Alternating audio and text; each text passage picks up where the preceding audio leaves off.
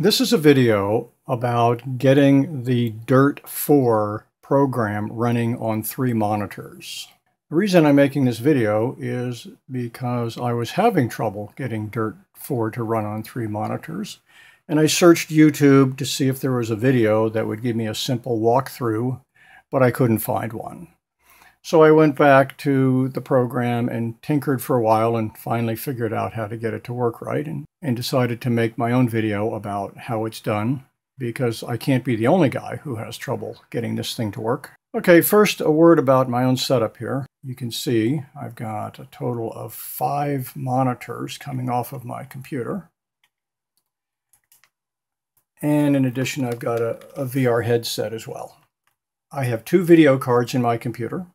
I've got a nice powerful GTX 980 running the bottom three monitors and the VR headset.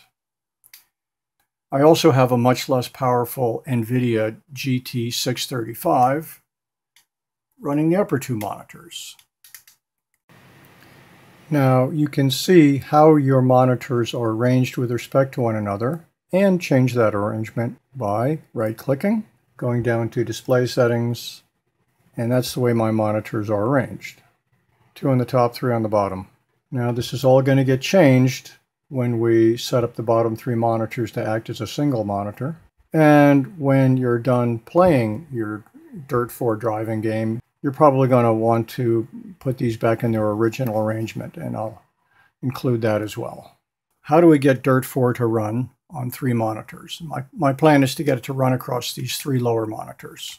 Now, these instructions are going to be for the NVIDIA video cards. If you have a different video card, such as one from AMD, the instructions will be different. Now I right-click anywhere on the screen, and I get this drop-down menu, and it gives me NVIDIA Control Panel.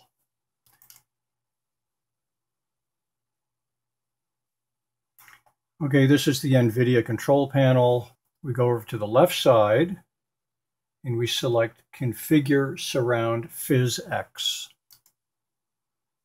And now we see this representation of all of our monitors, and it shows that we have three monitors connected to a GTX 980 and two monitors connected to a GX 635.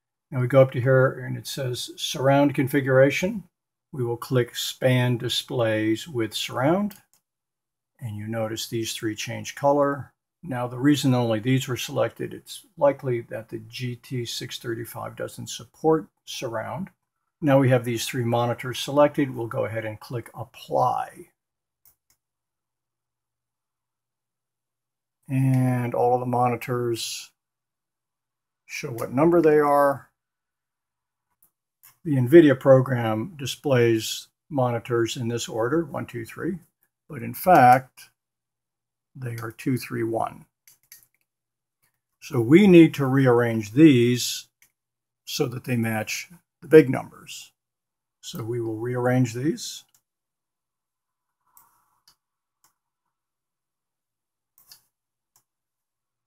Okay. 231 matches 231. Now we click Enable Surround, and the monitors are going to blink on and off for a little bit.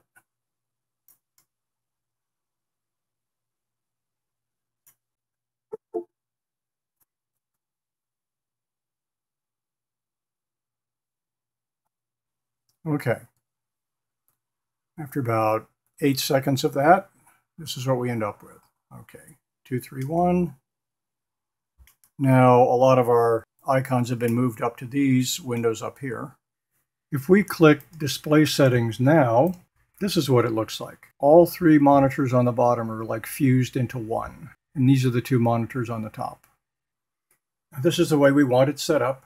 The next thing we do is we will start the DIRT 4 program. For whatever reason, my DIRT 4 icon ended up on this monitor, so we're now ready to go ahead and start the DIRT 4 program. just click on that.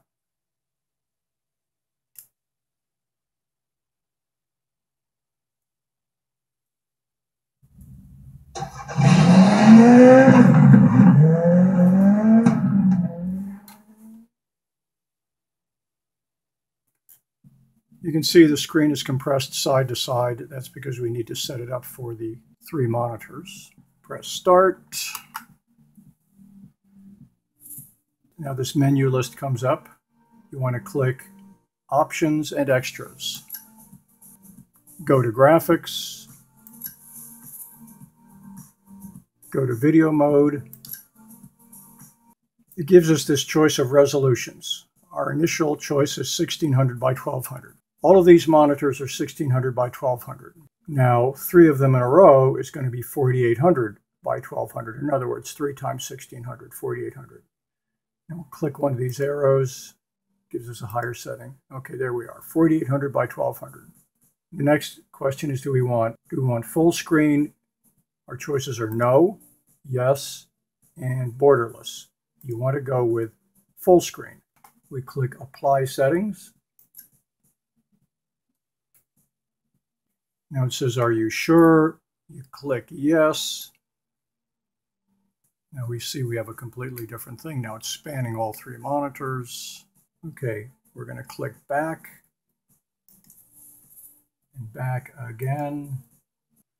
Okay, now I'm going to go ahead and get this started. I'm going to just click event. Just make this as simple as I can. Joyride.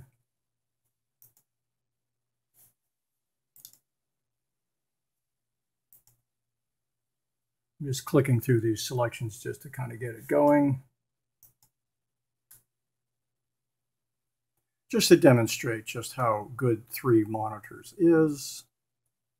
Just take a little bit of time to uh, get it all started.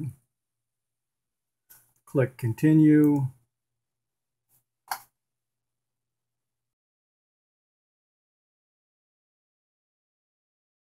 Click skip. Here we are. Now this is what this looks like. Now that's pretty cool.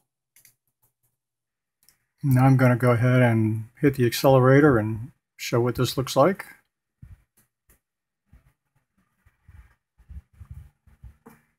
As you can kind of see, it really gives a very immersive feeling.